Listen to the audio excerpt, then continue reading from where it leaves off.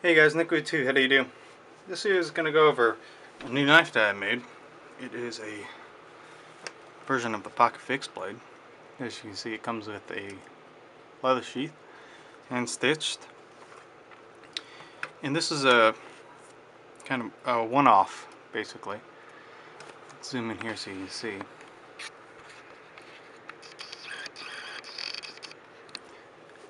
So this is a hammer forged Damascus blade with 1084 and 15 N20 and hammer forged Mokume Gane copper and nickel handle scales.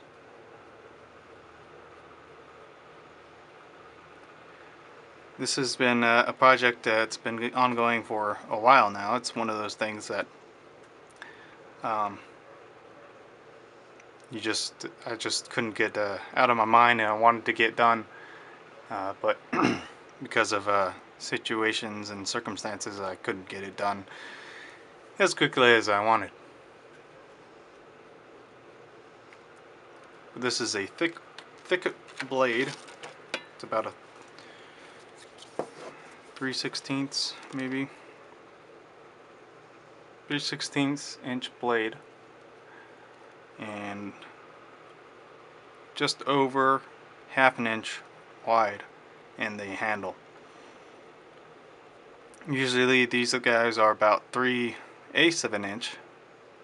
So this is about an eighth of an inch, 3 eighths of an inch thicker. Um, and quite a bit heavier. Um, let me get this scale set up but this is uh, as you see almost 3 16th inch scales that are forged. Um, but they turned out really well. Um, I didn't want to bring them down too thin. Um, it, it feels great in the hand. It is heavy. Let me get a weight on it. It's 8.8 .8 ounces by itself. And with the sheath it's 10.6 so this is by far the heaviest knife that I've made. But it's just a, a testament of my abilities up to this date. Um, being able to forge and uh, I mean uh, forge weld together different layers of steel and being able to forge weld copper and nickel together which is actually quite a bit harder because these guys will melt a lot faster than steel will melt. Um, so it's a lot harder uh, to to work with because you have to anneal it every couple uh, heats um, because it, it, work hardens copper and nickel.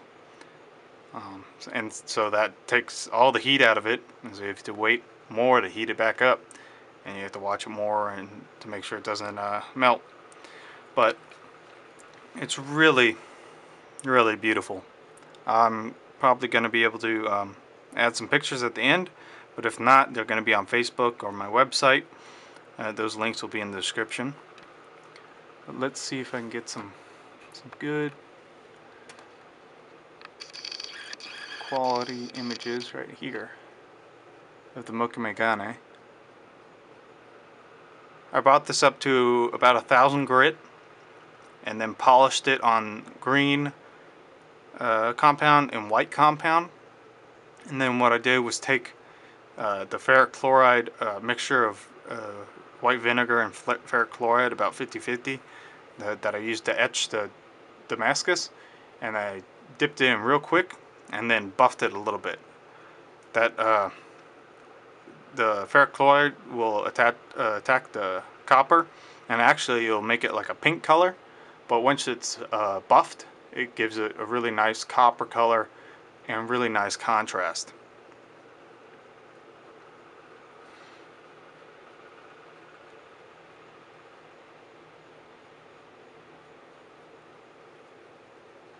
I really like how it turned out. Edges are all chamfered. I don't know if you can see the layers of Damascus, layers of steel there.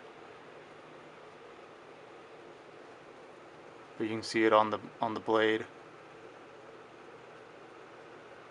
Again, the lighter lighter uh, shade is uh, 15 and 20, and the darker is uh, 1084.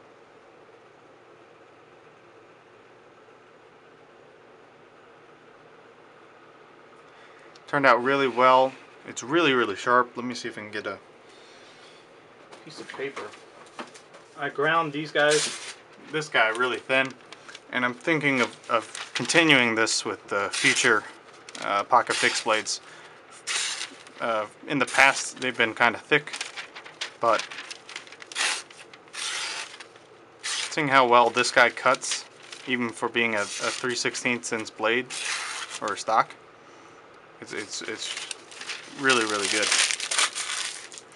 So I think I'm going to continue with the thin, thin grinds and maybe even push the limit and see how thin I can get these in the future. But I really like how it turned out. Let me know what you think.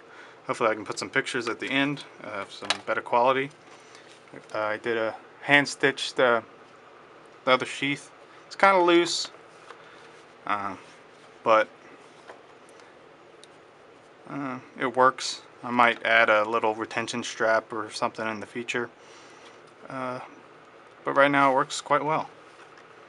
Again, it's quite heavy, but just fits in the hand really well.